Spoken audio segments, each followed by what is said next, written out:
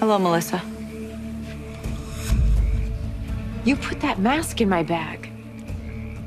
You followed me. You can't run to your room right now. Not this time. We're not going anywhere until I get some answers. When was the last time an answer made you any happier? Were you on the Halloween train? Is that where you saw Mona in the Ali mask?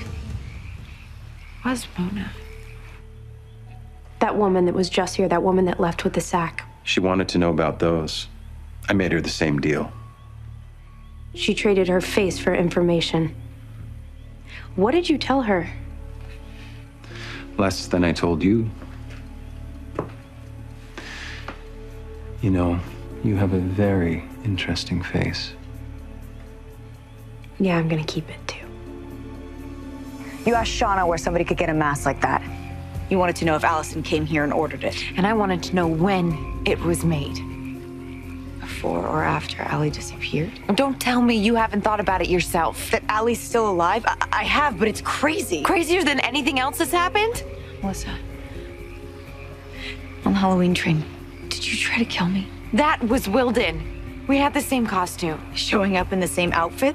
That must have been awkward. Why were you helping Wilden? I wasn't helping him. None of us helped him. We were afraid of him. Who's we? The NET club? This isn't about some stupid club. But there is a connection. There is some overlap with the club and what happened to Alison. And Wilden was blackmailing you all because of it. Wilden wasn't that smart. Somebody was telling him what to do. So somebody told Wilden to be on the train. To kill me and Aria and anybody else who could figure it out. I didn't know about hurting you till I was on the train. Because Garrett showed up and suddenly it became more important to kill him. You could have warned us, Melissa. You knew and you did nothing. You don't understand! You never understood. I've been protecting you since it started. Since before it started. So you sent Jenna and Shauna to burn down the lodge? I didn't send them to hurt you. I sent them to watch you. Watch us, why?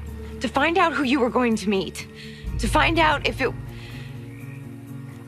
If it was Alison? Jenna and Shauna didn't start the fire. It was Wilden. They saw him. So is that who pulled everybody out, Jenna and Shauna? No, it was somebody else. It was the person who got off the plane, the one in the red coat. They didn't see. What do they have to do with this? How do you know them? Why do you still think Ali's alive?